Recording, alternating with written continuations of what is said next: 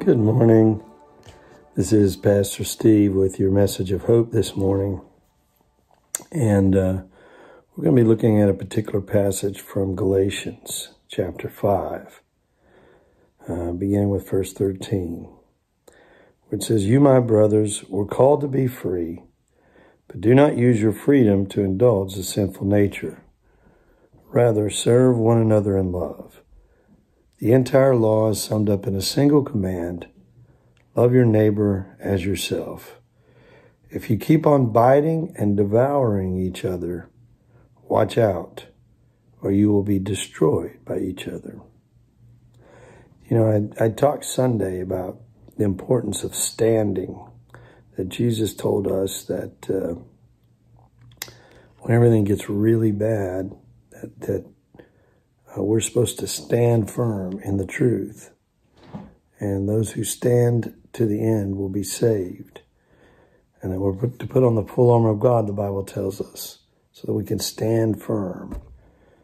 And so, uh, one of my friends showed me a passage in the Bible he'd read that morning that said, where Jesus also said, the way not to be able to stand is it said, a house divided against itself cannot stand. So we as individuals are to stand, but we are to seek as a community to be able to stand together. And uh, I was thinking about how difficult sometimes that can be. Uh, for example, in our current situation, I, I noted uh, the other day a little conversation between Troy Vincent, who is the uh, assistant to the commissioner of the NFL football and a sports writer, and they both cited Jesus. Uh, Troy Vincent was talking about how why uh, they needed to promote Black Lives Matter because he's a Christian, and uh, Jesus would want that. And the sports writer, uh, who is also a Christian, re retorted that Black Lives Matter, the organization, was a Marxist organization, atheistic in its nature. And of course, he said Jesus wouldn't want you to support an atheistic Marxist organization. And I thought, how, what an interesting exchange. Both sided opposite sides of the coin and uh, cited their faith in Christ to justify what they were doing. But the, the difficulty in the situation, and you, you, I'm sure you have an op opinion about that, uh, but the difficulty is they talked right past each other. And so, even though both cited that they were Christians and had a faith, uh, they were just using their faith to argue a point against the other one.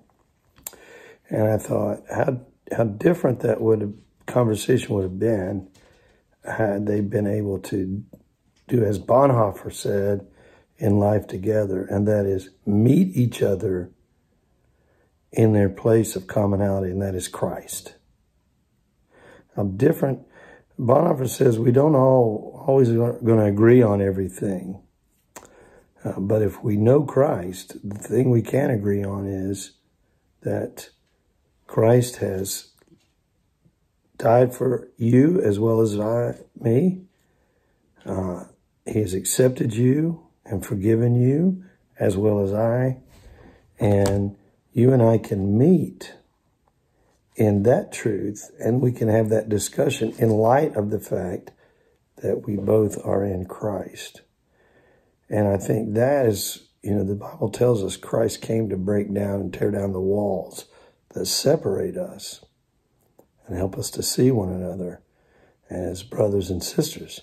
And that would have been a very different conversation if instead of focusing on the issue that divided them, if they both focused on the fact that they met each other in Christ and how could they work together to promote racial justice and harmony.